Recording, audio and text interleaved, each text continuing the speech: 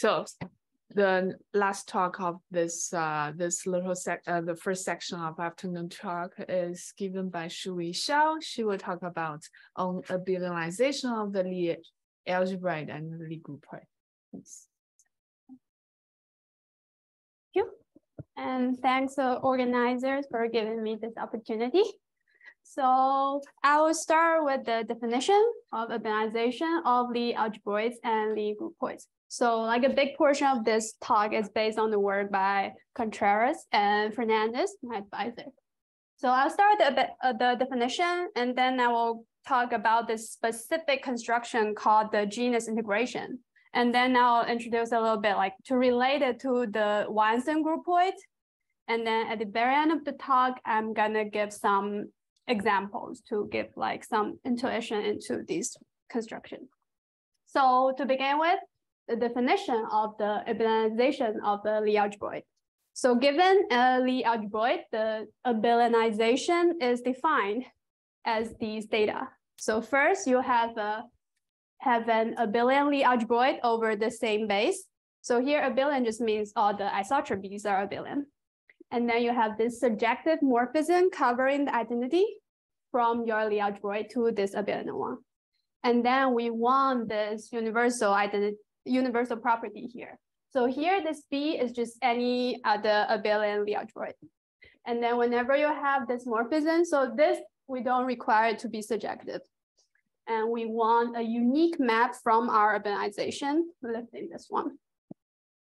So a very natural question to instantly ask is, okay, does this construction always exist? And the answer is no. What we do know is that for a transitive case, it will always exist. And the construction is very simple. You just quotient out the commutator of the isotropy bundle.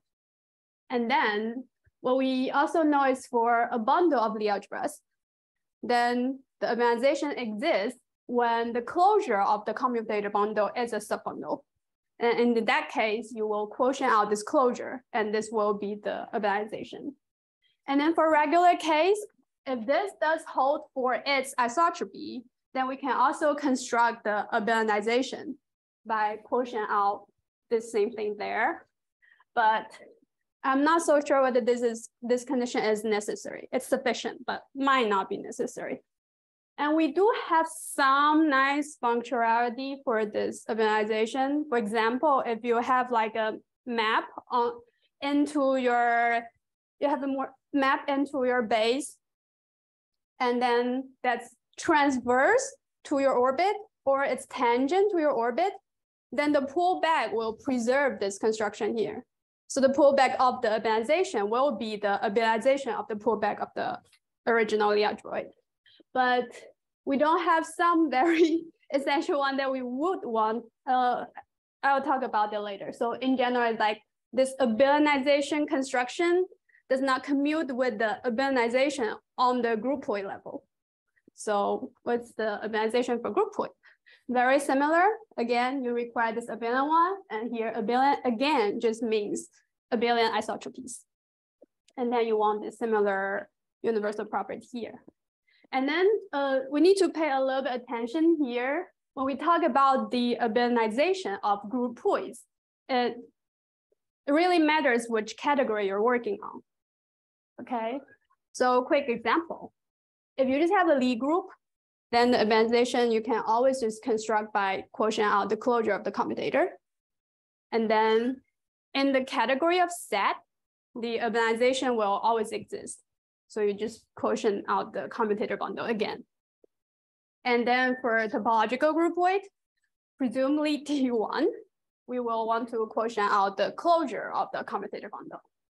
And then in general, for a Lie groupoid, the abelianization might not always exist.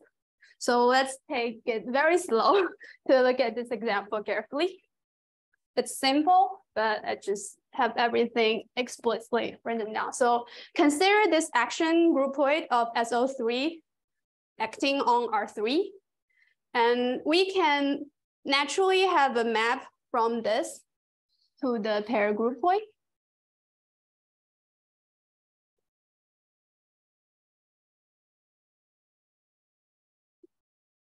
Just by mapping everything to its target and source.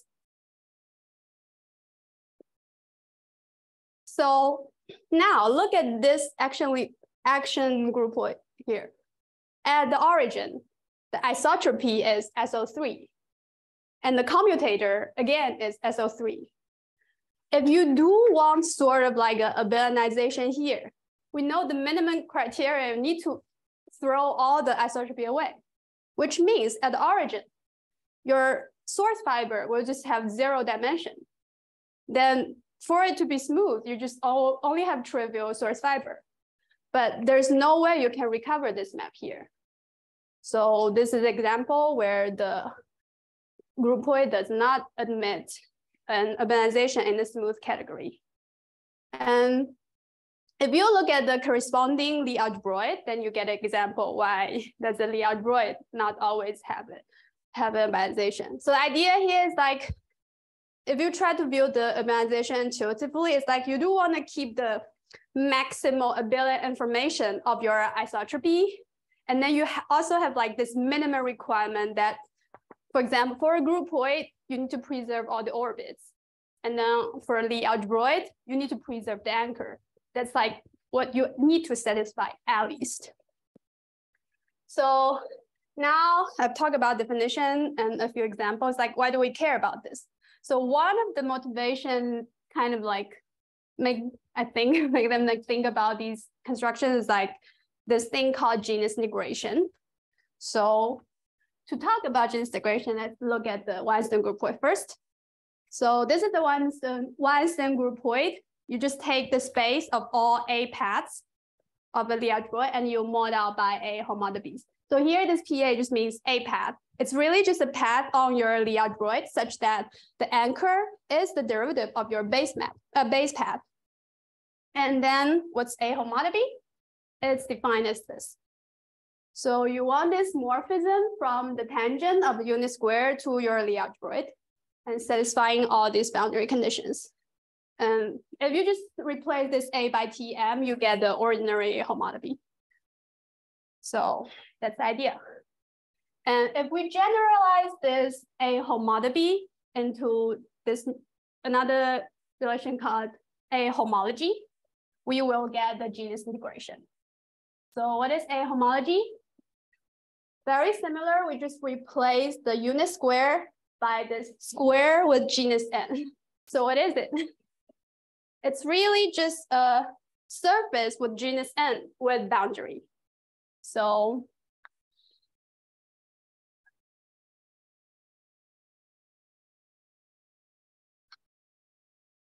the idea is we're really just looking at whatever surface with genus. So here at this boundary here, you can view it I mean, when you consider this is like on the base map level, but if you look at the little neighborhood here, this thing is really like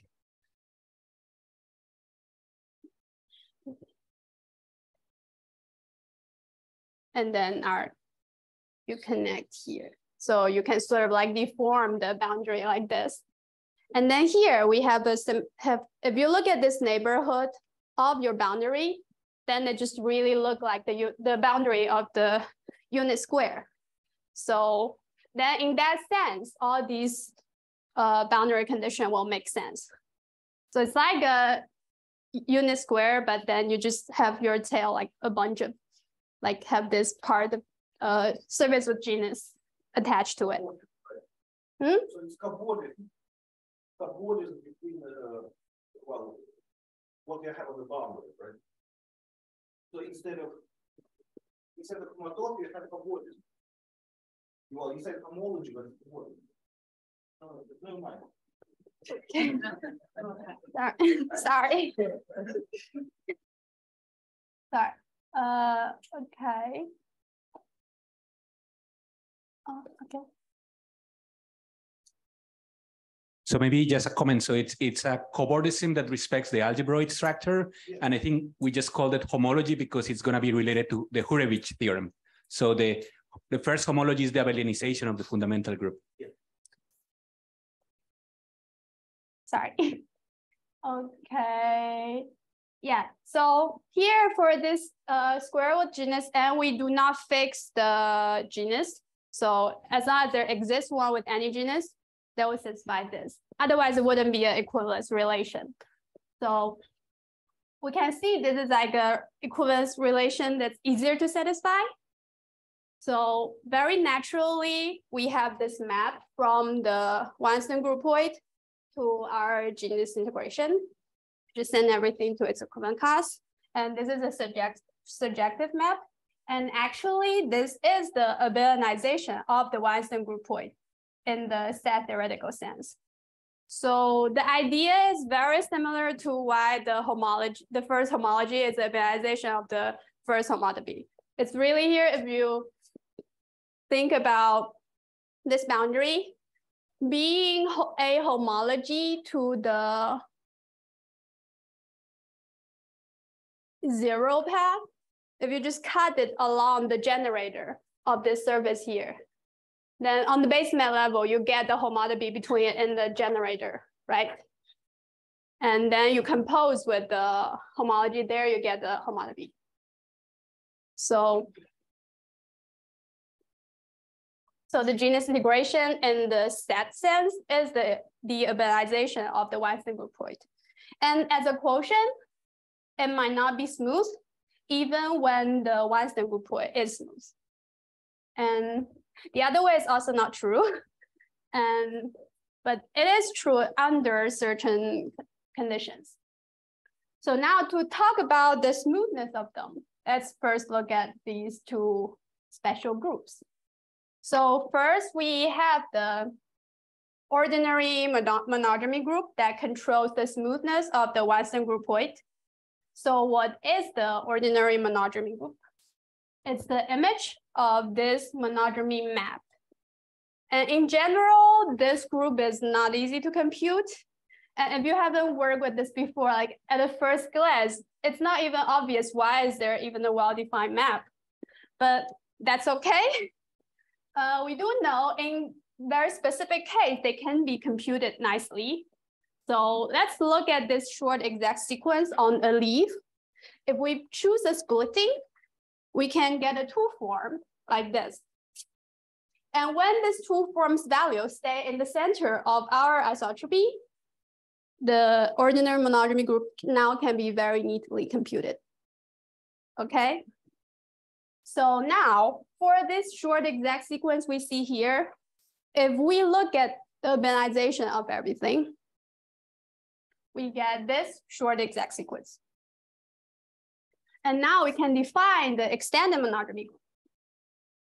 So that will be the image of this extended map.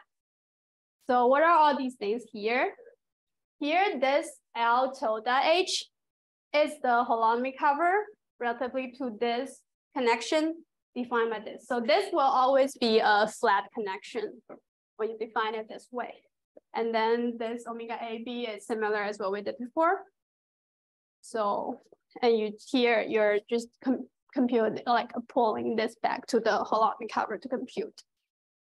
And then these two groups are related. So they will fit into this uh, commutative diagram.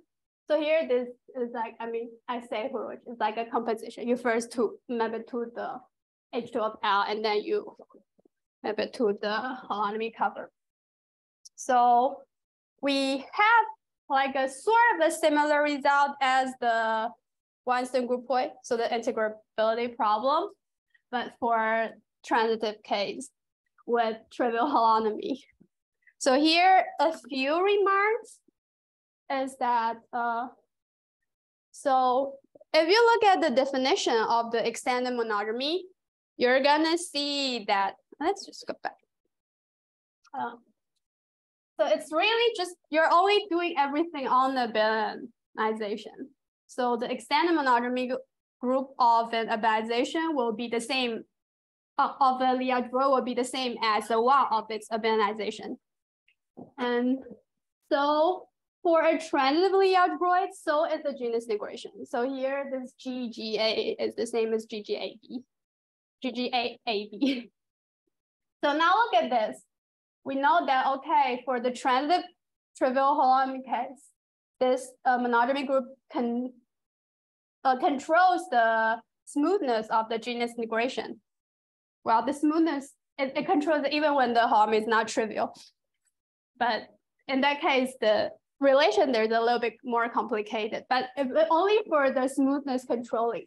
When we throw away this trivial holonomy condition, these are still true, but this last line is no longer true. So that's what I talk about the functionality that we want in this sense does not hold already in the transitive case if the holonomy is not trivial.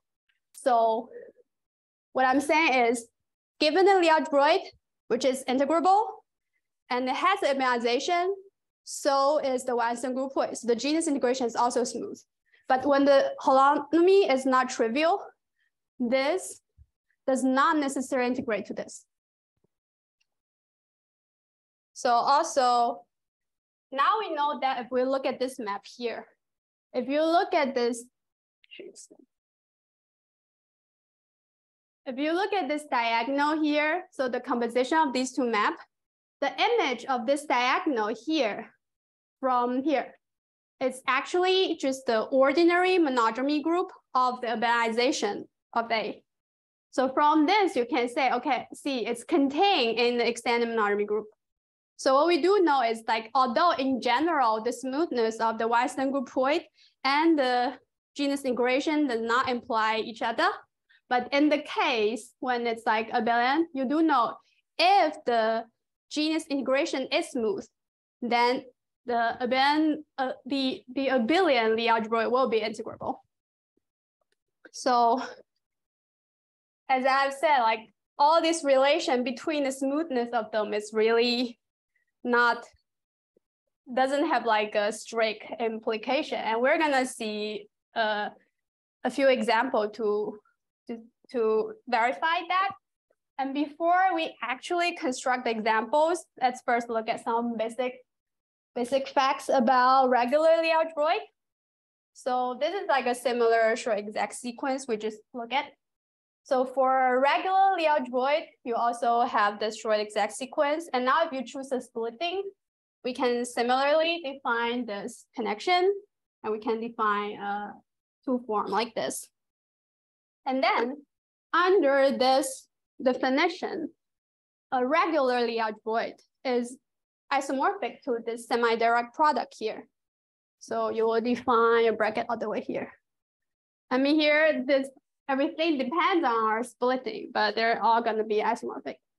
So now, if you really look at this bracket here, what are the information here? You have your isotropy, and you have this distribution. You have this TF connection on your isotropy bundle, and then you have this two form. So with all these data, we can construct a regular Lie algebroid back. Of course, they need to satisfy some condition. So first condition, you want your connection to act like a derivation on your bracket.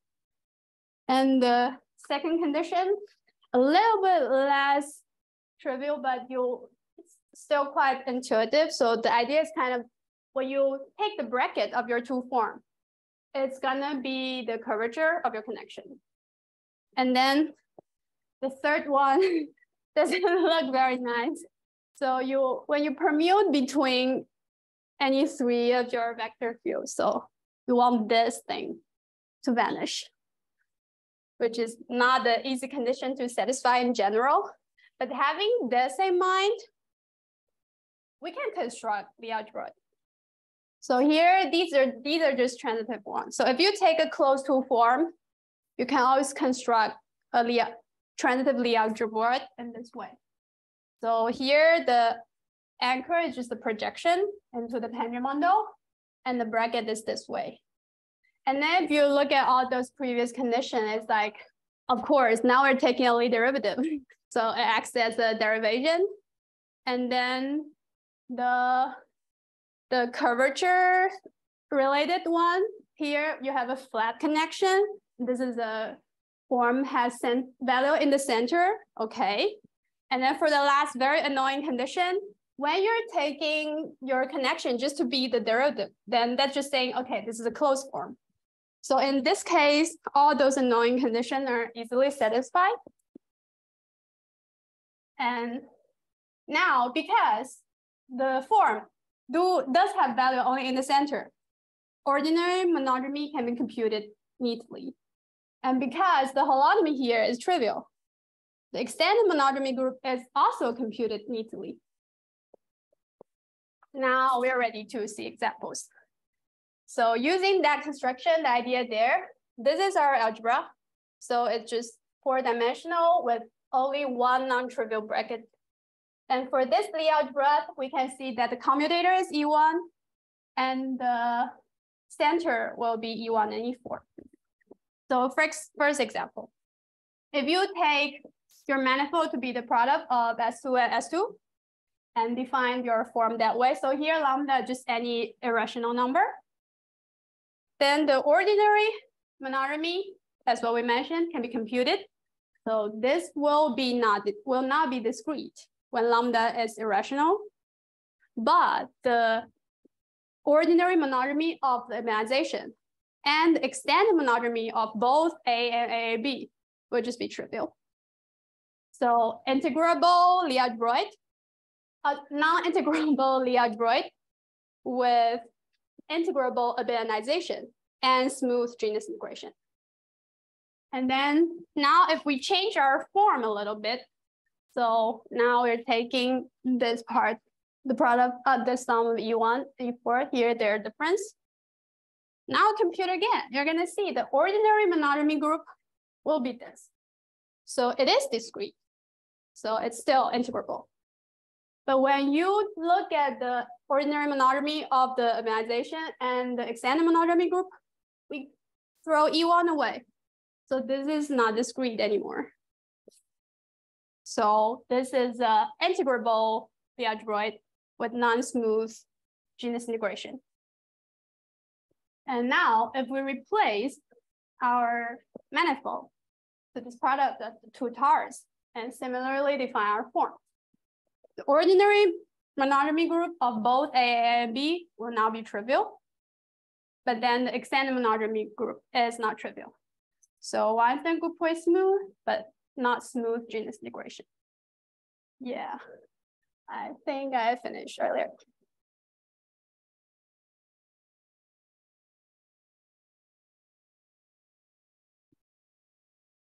Any questions?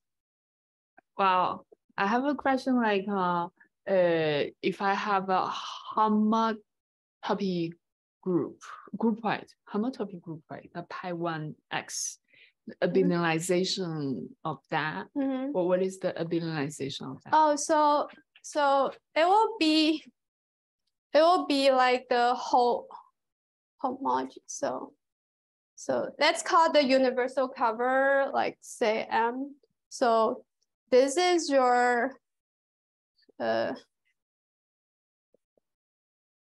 this is the one the group product. This is what you're talking about. Right? This is the groupoid. And the abelianization will be, so here, this is the cover with the covering group being the first homology. And this will be the abelianization of this one. Oh, yes, that's very good. Uh, but, but I'm asking like the homo uh pi one of Emma. So homotopy group, group pi, right? Yes, exactly. That's, that's the first one that she wrote. That's that's a way to That's one way of writing. Oh, yeah, yeah, yeah, the fundamental group right there. Okay, great. Uh, very good. Thank you very much. Are there another question?